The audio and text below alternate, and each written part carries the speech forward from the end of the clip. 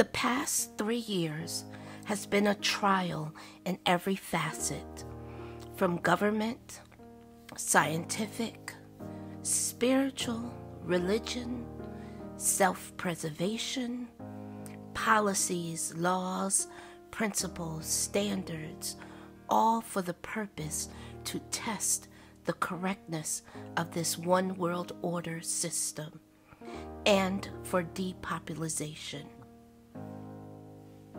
As you continue to listen, please hear clearly that God never imposes his commandments and covenant.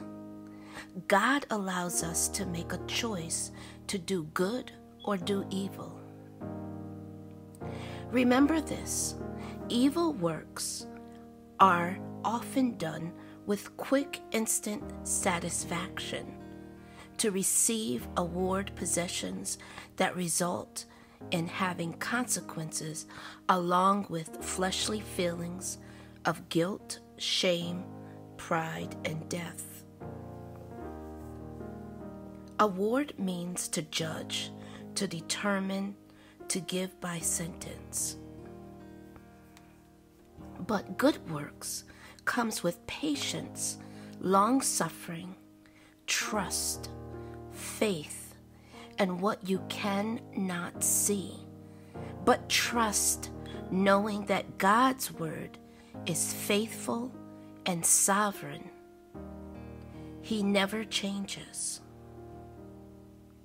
In Matthew chapter 16, verse 27, Christ states, For the Son of Man shall come in the glory of his Father with his angels, and then he shall reward every man according to his works. Now, works can be good or evil. That is a choice that God has granted us. Thus I say to you, Christ came as our Savior, Redeemer, and King, so that the evil spirits of depression, sadness, hopelessness, helplessness, anger, jealousy, deceit, and violence could be bound and loosed into the abyss of H E L L. That's hell.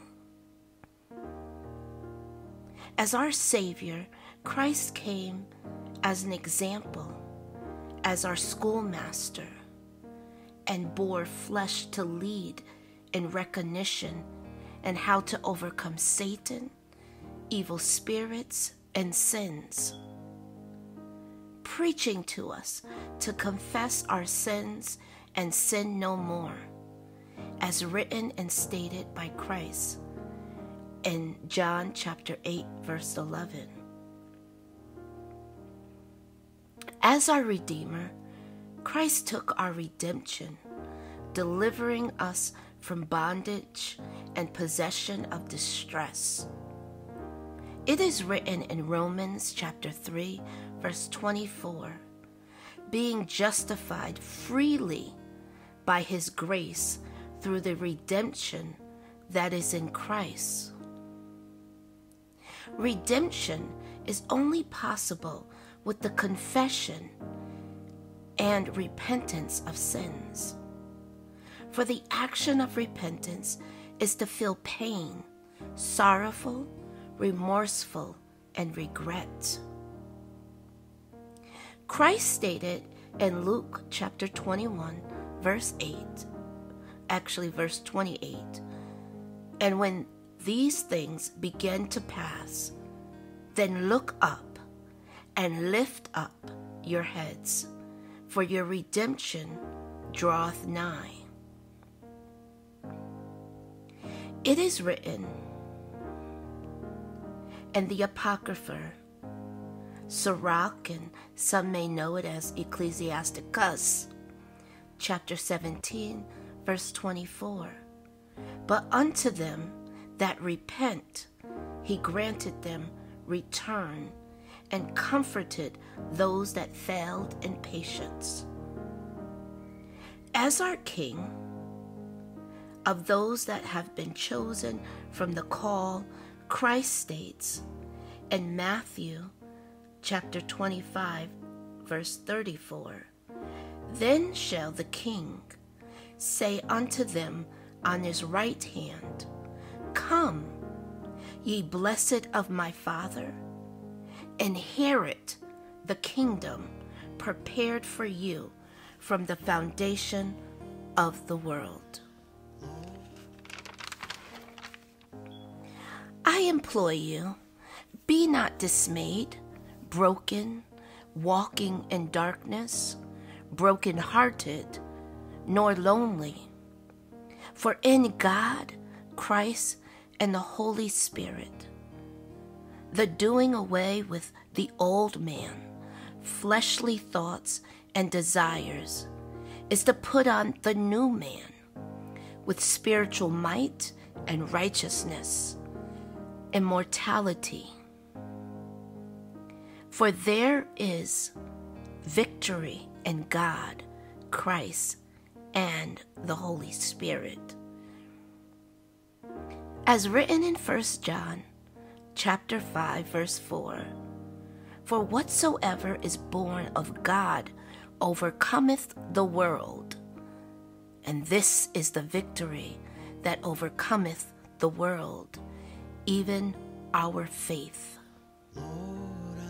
Isaiah chapter 25, verse 8 reads He will swallow up death and victory, and the Lord God will wipe away tears from all faces, and the rebuke of his people shall take away from off all the earth, for the Lord hath spoken it. Amen.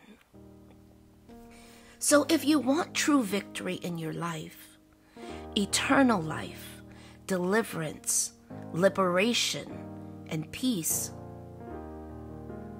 then repeat after me. First Chronicles chapter 29 verse 11.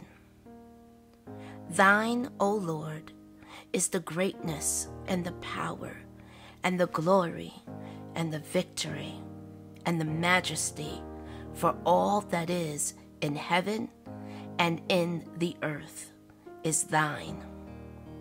Thine is the kingdom, our Lord, and thou art exalted as head above all. Amen. John chapter 8, verse 12 reads Then spake Christ again unto them, saying, I am the light of the world. He that followeth me shall not walk in darkness, but shall have the light of life.